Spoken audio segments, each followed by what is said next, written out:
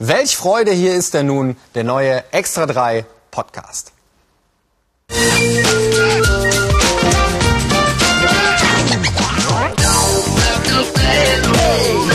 Heute Bahnchef Medorn. Der Clanchef hat hinten mehr Haare als vorn.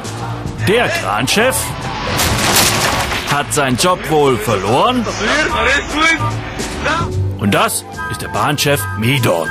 Seine Leute kümmern sich liebevoll um Beschwerdebriefe, grübeln ganz doll über neue Strategien nach und stellen die Weichen für den Börsengang. Ups. Für so eine Privatisierung erstmal schön schlau machen, wie man die Bilanzen richtig aufpoliert. Bahnhöfe mit blöden Namen wie Klütz oder Tiefensee werden dicht gemacht. Sagt der Chef von Bahnchef Medorn, wieso? Tiefensee ist doch gar nicht so schlecht.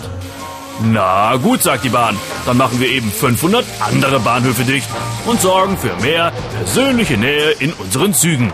Mit Nachdruck. Gegen den Aufpreis gibt es spannendes Outdoor-Bahnfahren.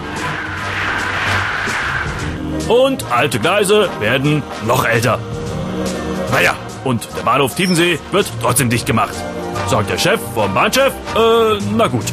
Kann der Bahnchef Medorn fette Gewinne verkünden. Und schwupps, fertig ist der tipptopp börsentaugliche Bahnkonzern. Ist ja super. Freuen sich auch die Investoren.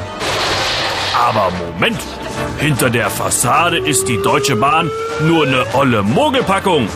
Denn mit diesen Altlasten Pensionäre! wird es richtig teuer. Damit wollen die Investoren nichts zu tun haben.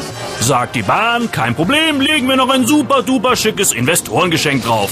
Schnell unrentable Strecken dicht gemacht, zum Beispiel Pasewalk Stralsund, Zollteich Enden, Bad am Rheine, Neustrelitz Rostock.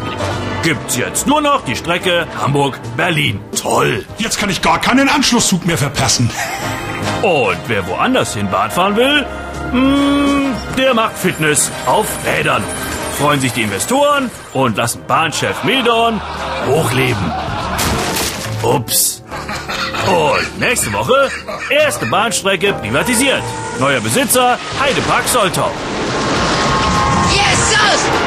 Yeah! Tschüss, bis zum nächsten Mal. Euer Klaus.